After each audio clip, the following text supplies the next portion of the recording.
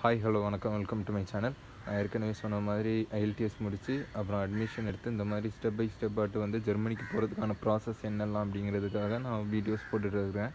So IELTS முடித்து நீங்கள் இப்போ காலேஜில் அட்மிஷன் எடுத்துட்டீங்க அப்படிங்கிறதுக்கு அப்புறம் என்ன ஸ்டெப்பு பண்ணணும் அப்படிங்கிறத நான் இப்போ சொல்ல போகிறேன் ஓகே இப்போ உங்கள் கையில் ஒரு காலேஜுக்கான அட்மிஷன் வந்துருச்சு அப்படிங்கும்போது நீங்கள் வந்து ஒரு ஸ்டூடெண்ட் விசாக்காக நீங்கள் அப்ளை பண்ண போகிறீங்க ஸ்டூடெண்ட் விசாவுக்கு அப்ளை பண்ணுறதுக்கு முன்னாடி உங்கள்கிட்ட சில டாக்குமெண்ட்ஸ் எல்லாம் இருக்கணும். அது வந்து விசா வந்து அது இருந்துச்சுன்னா தான் கொடுப்பாங்க. அது என்னெல்லாம் டாக்குமெண்ட்ஸ் அப்படின்ட்டு பார்த்தீங்கன்னா இப்போ உங்களுக்கு காலேஜ் முடிச்சிருப்பீங்க இல்லைன்னா பேச்சுலர்ஸ் டிகிரி ஸ்கூல் இந்த மாதிரி எல்லா சர்டிஃபிகேட்ஸுமே உங்கள்கிட்ட இருக்கும். மார்க் ஷீட் காலேஜோட மார்க் ஷீட் அந்த மாதிரி அண்ட் ஐஎல்டிஎஸ் சர்டிஃபிகேட் உங்கள்கிட்ட இருக்கும். ஜெர்மன் லாங்குவேஜ் படிச்சிருக்கணும். ஓகே இந்த சர்டிஃபிகேட்ஸ் எல்லாம் எண்ணி வரப்போகுது. எல்டிஎஸ் முடிச்சிட்டிங்க. இந்த காலேஜோட அட்மிஷன் கிடைக்கிறதுக்கு முன்னாடி ஜெர்மன் லாங்குவேஜும் முடிச்சிருங்க.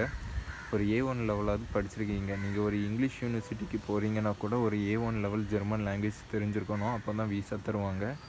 ஓகே இப்போ உங்ககிட்ட இல்லாத டாக்குமெண்ட்ஸ் என்னெல்லாம் அப்படிங்கிறத நான் சொல்கிறேன் அண்ட் இதெல்லாம் எடுக்கிறதுக்கு டைம் ஆகும். பட் இதெல்லாம் நான் டீட்டெயிலாக ஒரே வீடியோவில் சொல்ல முடியுமான்னு தெரியல.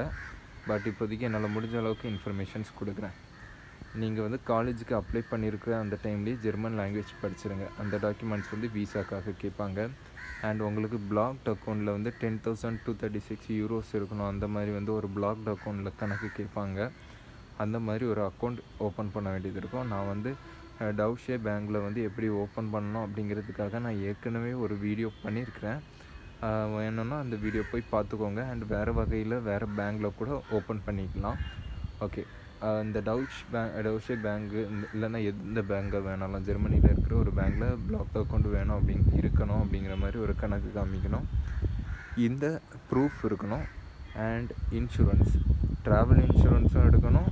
அண்ட் ஹெல்த் இன்சூரன்ஸும் எடுக்கணும். இந்த இன்சூரன்ஸ் வந்து ஜெர்மனில் உள்ள இன்சூரன்ஸ் வந்து கவர் பண்ணுற மாதிரி ஜெர்மன் இன்சூரன்ஸ் எடுக்க வேண்டியது இருக்கும். அதுக்கப்புறம் அக்கம்டேஷன் ப்ரூஃப் வைக்கணும். அக்கம்டேஷன் ப்ரூஃப் அப்படின்ட்டு பார்த்தீங்கன்னா நீங்கள் ஜெர்மனிலே எங்கே போய் தங்க போகிறீங்க அப்படிங்கிறதுக்காக ஒரு ப்ரூஃப் வைக்கணும். இந்த அக்கம்டேஷனும் எப்படி எடுக்கணும் அப்படிங்கிறதுக்காக நான் ஏற்கனவே ஒரு வீடியோ போட்டிருக்கிறேன். ஸோ நீங்கள் எந்த காலேஜில் படிக்கிறீங்களோ அந்த காலேஜில் வந்து ரொம்ப டிஸ்டன்ஸ்லலாம் அக்கமடேஷன் இருக்கக்கூடாது. அந்த காலேஜோட ஹாஸ்டல்லே எடுக்கலாம். இல்லைன்னா ஹாஸ்டலில் கிடைக்கல ஹாஸ்டலில் கிடைக்க லேட் ஆகும் அப்படிங்கும்போது அந்த காலேஜுக்கு பக்கத்தில் இருக்கிற ஏதாவது ரெண்டட் அக்கமடேஷனும் எடுக்கலாம். இந்த மாதிரி ஒரு அக்கமடேஷன் நீங்கள் எடுத்து வச்சுருக்கீங்க. ஜெர்மனி போயிட்டீங்கன்னா அங்கே தான் ஜாயின் அங்கே தான் போய் தங்க போகிறேன் அப்படிங்கிற மாதிரி ஒரு ப்ரூஃப் வைக்கணும். மேபி அப்படி இல்லை. எனக்கு தெரிஞ்சவங்க ஒருத்தங்களோட வீட்டில் தான் தங்க போகிறேன் அப்படிங்கும்போது அவங்கக்கிட்ட இருந்து ஒரு ப்ரூஃப் வைக்கணும். அதாவது ஜெர்மனியில் உள்ள ஒரு ஆள் ஆள் அதாவது உங்களுக்கு தெரிஞ்சவங்களாக இருக்கலாம். அவங்க மாமா இந்த மாதிரி யாராவது இருக்கும். அவங்க கூட தான் போய் தங்கி நான் வந்து என்னுடைய காலேஜ் லைஃப்பை படிக்க போகிறேன் அப்படிங்கும்போது அந்த அவங்க இருக்கிற அட்ரஸ் அவங்களுடைய காண்டாக்ட் டீட்டெயில்ஸ் எல்லாம் இருக்கிற மாதிரி ஒரு ப்ரூஃப் வைக்கணும். மேபி அது லெட்டராக கூட இருக்கலாம். ஸோ இந்த விசா இன்டர்வியூவில் அவங்க வந்து கால் பண்ணி கேட்பாங்க. இப்படி ஒருத்தர் இருக்காங்க. நீங்கள் ஜெர்மனியில் என்ன பண்ணுறீங்க உங்களுடைய அக்கமடேஷன் எந்த இடத்துல இருக்குது இந்த ப்ரூஃப் எல்லாம் உண்மை தானே கரெக்ட் தானே? இந்த மாதிரிலாம் விசாரிக்கிறது நடக்கும். அது வந்து உண்மையான ப்ரூஃப் அப்படிங்கும்போது தான் உங்களுக்கு வந்து விசா தருவாங்க. ஓகே இந்த மாதிரி blocked account travel insurance health insurance accommodation இந்த மாதிரி நான் இப்போ வந்து ஒரு ஷார்ட் ஆட்டு இந்த ப்ரூஃப் எல்லாம் தேவை அப்படின்னு சொல்கிறேன் இதெல்லாம் நம்ம வச்சு அந்த விசா இன்டர்வியூக்குள்ள வந்து நீங்கள் ஒரு அவங்க குறிப்பிட்ட விஷயம்லாம் வேணும் அப்படிங்கிற மாதிரி ஒரு செக்லிஸ்ட் வந்து ஏற்கனவே ஆன்லைனில் வச்சுருப்பாங்க. அந்த ஆன்லைனில் இருக்கிற செக்லிஸ்ட் எடுத்து பார்த்தீங்கன்னா உங்களுக்கு தெரியும். அக்கமடேஷன் எங்கே இருக்குங்கிற ப்ரூஃப் வேணும். இன்சூரன்ஸ் ப்ரூஃப் வேணும்.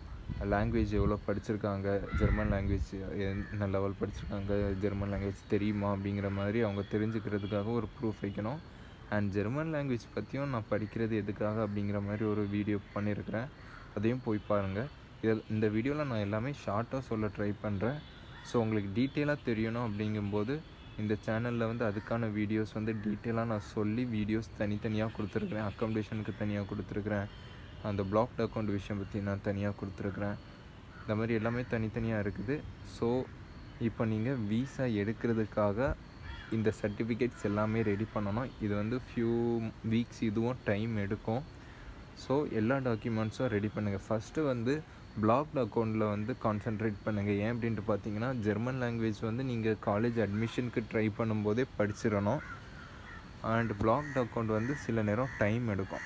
மேபி சிலர் லோன் எடுத்து தான் இந்த பிளாக்ட் அக்கௌண்ட்டில் காசே போட போகிறேன் அப்படிங்கும்போது லோன் வந்து எவ்வளோ நாளில் அவங்க எடுக்கிறாங்க அவங்களுக்கு லோன் தர்றதுக்கு அப்படிங்கிறதெல்லாம் இருக்குது.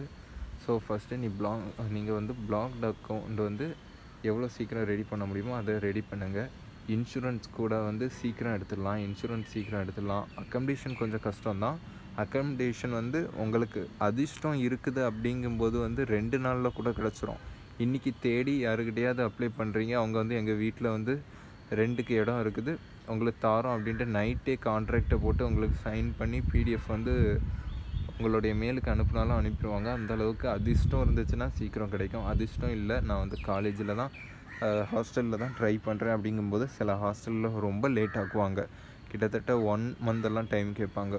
நெக்ஸ்ட் மந்த்து தான் ஒருத்தர் வந்து போகிறாரு அவர் போனதுக்கப்புறம் மேபி அவங்களுக்கு தரதை பற்றி நான் பார்க்கலாம். அந்த மாதிரிலாம் பேசுவாங்க. ஸோ அக்காமடேஷனுங்கிறது லக் இருந்துச்சுன்னா சீக்கிரம் கிடைக்கும். உங்களை அதிர்ஷ்டத்தை பொறுத்து அது லேட் ஆகிறதுலாம் இருக்கும். ஸோ அக்கமடேஷனும் சீக்கிரம் போட பாருங்கள் பிளாக் அக்கௌண்ட்டும் சீக்கிரம் போட பாருங்கள் அண்ட் இன்சூரன்ஸு ட்ராவல் இதெல்லாம் சீக்கிரமாகவே போட்டுடலாம் அது வந்து அப்ளை பண்ண ஒன் ஆர் டூ டேஸில் வந்து கிடச்சிரும். உடனே முடிச்சிடலாம். ஸோ விசா இன்டர்வியூக்கு தேவையான நெசசரி டாக்குமெண்ட்ஸில் முக்கியமான டாக்குமெண்ட்ஸ் எல்லாம் சொல்லிட்டேன். அண்ட் இது கூட வேறெல்லாம் என்னெல்லாம் இருக்கும் அப்படின்ட்டு பார்த்தீங்கன்னா நீங்கள் பாஸ்போர்ட் சைஸ் ஃபோட்டோ அதாவது பாஸ்போர்ட் சைஸ் ஃபோட்டோனால் நம்ம ஒரு சாதா பாஸ்போர்ட் சைஸ் ஃபோட்டோ இல்லை. அதாவது ஒரு பயோமெட்ரிக் அளவுலாம் இருக்குது. ஜெர்மனிக்கான விசா இன்டர்வியூ போனோம் அப்படின்னா அந்த பயோமெட்ரிக் விஷயத்துக்குள்ளாடி வர்ற அந்த ஃபோட்டோவாக இருக்கணும். அது சில ஃபோட்டோ ஷாப்ஸில் வந்து அவங்க எடுத்து தருவாங்க. பட் இல்லை அப்படிங்கும்போது ஆன்லைனில் பயோமெட்ரிக் ஃபோட்டோனா எப்படி இருக்கணும் அப்படிங்கிறத பார்த்து அவங்களுக்கு தெளிவாக சொல்லி இந்த மாதிரி தான் எடுக்கணும் அப்படின்னு சொல்லிவிடுங்க ஓகே பயோமெட்ரிக் ஃபோட்டோ அது மட்டும் இல்லாமல் cover ஃபோட் cover letter and motivation letter இந்த கவர் லெட்டரில் என்னெல்லாம் இருக்கணும் அப்படின்னு பார்த்தீங்கன்னா நீங்கள் எதுக்காக இந்த விசா இன்டர்வியூ வந்திருக்கீங்க இதில் என்னெல்லாம் டாக்குமெண்ட்ஸ் இன்க்ளூட் பண்ணியிருக்கிறீங்க இந்த மாதிரி சில விஷயத்த வந்து கொஞ்சம் தெளிவாக சொல்லணும். ரொம்ப வளவலன்ட்டும் இருக்கக்கூடாது ஷார்ட் ஆட்டு டீட்டெயில் ஆட்டு சொல்லியிருக்கணும். உங்களுடைய குவாலிஃபிகேஷன் என்னெல்லாம் நீங்கள் எதுக்கு ஜெர்மனிக்கு போகிறீங்க எதுக்கு விசா இன்டர்வியூ அட்டன் பண்ணுறீங்க நான் இந்த காலேஜில் படிக்க போகிறேன் என்னுடைய குவாலிஃபிகேஷன் இதெல்லாம் நான் அங்கே போய் படித்து இந்த மாதிரி பிளான்ஸில் வச்சுருக்கிறேன். இங்கே போய் தங்க போகிறேன் இந்த காலேஜில் முடிப்பேன். என்னுடைய அட்மிஷன் டேட் இந்த டேட்டு நான் இந்த டேட்டுக்குள்ளாடி ஜெர்மனி கிளம்பணுன்ட்டு நினைக்கிறேன். அந்த மாதிரி எல்லா விஷயத்துமே அந்த கவர் லெட்டரில் டீட்டெயிலாக எழுதணும். அண்ட் அவுட்டு டீட்டெயிலான விஷயத்த ஷார்ட்டாட்டு சொல்லியிருக்கணும். அந்த ஒரு பேஜுக்குள்ளாடி நீங்கள் சொல்லியிருக்கணும். அந்த மாதிரி ஒரு அழகான கவர் லெட்டர் மோட்டிவேஷன் லெட்டர் அப்படிங்கும்போது மோட்டிவேஷன் லெட்டர் எல்லாருமே எழுதுறது கிடையாது. ஒரு சிலர் தான் எழுதுகிறாங்க சிலரை வந்து மோட்டிவேஷன் லெட்டரை பார்த்தாலே யாரோ எழுதி தந்து இல்லைன்னா எதையோ பார்த்து காப்பி அடித்த லெட்டர் மாதிரி இருக்கும். அவங்க ஃபீல் பண்ணுவாங்க. இந்த பையன் தான் எழுதியிருக்கானா? ஏன்னா மோட்டிவேஷன் லெட்டரில் நல்லா தெளிவாக எழுதியிருக்கு. ஆனால் பையன் பேசும்போது நல்லா உளர்றானே. இவனுக்கு அப்போ மேபி யாரோ ஹெல்ப் பண்ணுறதுனால தான் இவன் ஜெர்மனி போகிறதுக்கான எல்லா ப்ராசஸுமே பண்ணுறான் ஒருவேளை இவன் ஒரு கன்சல்டன்சி வழியாக வந்த பையனாக இருக்கலாம். அந்த மாதிரி அவங்க ஒரு டவுட்டில் என்ன செய்வாங்க அப்படின்னு பார்த்தீங்கன்னா மோட்டிவேஷன் லெட்டரை வந்து அவங்க முன்னாடி வச்சு எழுத சொல்லுவாங்க. அப்படி நீங்கள் எழுதுகிற மோட்டிவேஷன் லெட்டர் அவங்கள்ட்ட கொடுத்துருக்குற லெட்டருக்கும் நீங்கள் எழுத போகிற மோட்டிவேஷன் லெட்டருக்கும் ரொம்ப டிஃப்ரென்ஸ் இருந்துச்சு அப்படின்னா அப்போவே உங்களுக்கு வந்து கண்டுபிடிச்சிருவாங்க. என்னப்பா எழுதி வச்சுருக்கிற? வேறு மாதிரி இருக்குது அந்த மாதிரிலாம் சொல்லி கொஞ்சம் கன்ஃபியூஷன்ஸ் ஆகலாம். ஸோ கொஞ்சம் மோட்டிவேஷன் லெட்டரை நீங்களே எழுத பாருங்கள் அதே மாதிரி அங்கே கேட்குற கொஸ்டின்ஸ்க்கான ஆன்சர்ஸும் நீங்கள் வந்து உங்கள் மைண்டில் இருக்கிற ஆன்சரை சொல்லுங்கள் மோட்டிவேஷன் லெட்டரில் அவங்களுக்கு இப்படி சொன்னால் தான் நமக்கு வீசா தருவாங்க. அந்த மாதிரி ஒரு மைண்ட் செட்டில் நீங்கள் எழுதிட்டு அங்கே போய் வேறு மாதிரி நீங்கள் பதில் சொன்னீங்க அப்படிங்கும்போதெல்லாம் நல்ல கன்ஃபியூஷனில் உங்களுடைய வீசா ரிஜெக்ஷன் ஆகுறது மாதிரி கூட நடக்கும். ஸோ என்ன எழுதுனாலும் உங்கள் மைண்டில் இருக்கிறத எழுத பாருங்கள் அதில் ஸ்பெல்லிங் மிஸ்டேக் அந்த மாதிரி கரெக்ஷனுக்கு மட்டும் யாருக்கிட்டையாவது கொடுத்து ரெஃபர் பண்ணிக்கோங்க.